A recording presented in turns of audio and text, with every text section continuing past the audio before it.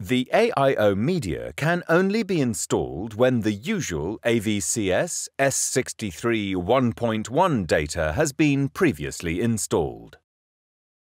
After having previously installed the permit for the AIO cell GB800001, the AIO media now needs to be installed.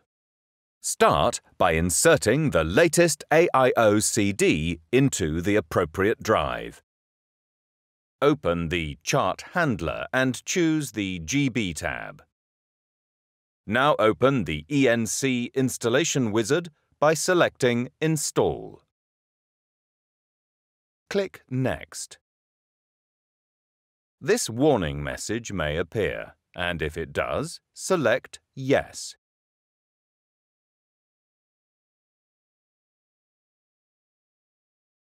Click Finish once the installation process has completed. The AIO layer is now installed.